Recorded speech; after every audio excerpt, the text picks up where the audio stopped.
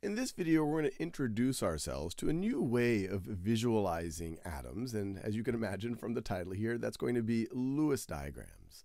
But before I even get into that, let's do a little bit of review of what we already know about Bohr models. So let's say we take an arbitrary element here. Let's say we take nitrogen. Nitrogen, by definition, has seven protons, and so if it's neutral, it's going to have seven electrons. So a Bohr model for nitrogen in our first shell, that first shell is going to look just like helium and it's going to have two electrons. So let me draw it like that. And then in its second shell, its second shell, it is going to have the remaining five of the seven electrons. And we are going to make them unpaired at first. So one, two, three, four, and then five. The reason why I did it this way is a full valence shell is going to have eight electrons, or four pairs. But if the electrons can spread apart, they like to spread apart. So that's why I did one, two, three, four, and then I paired this last one because there's nowhere else for it to actually go. Now, I just touched on this issue of valence electrons. Those are the electrons in your outermost shell, and they tend to be the ones that are involved in reactions.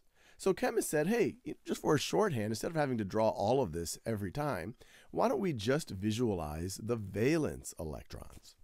And so let's do that in this nitrogen example.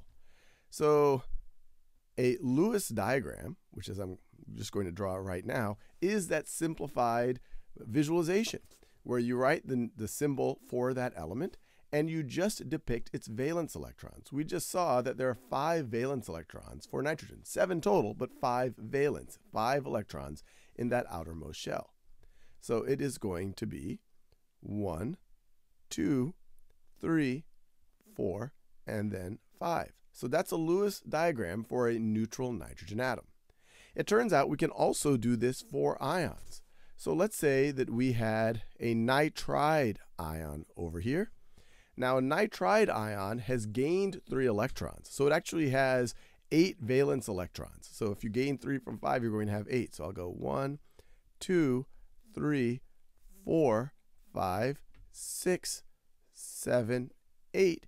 And because it gained three electrons from being neutral, it now has a negative three charge.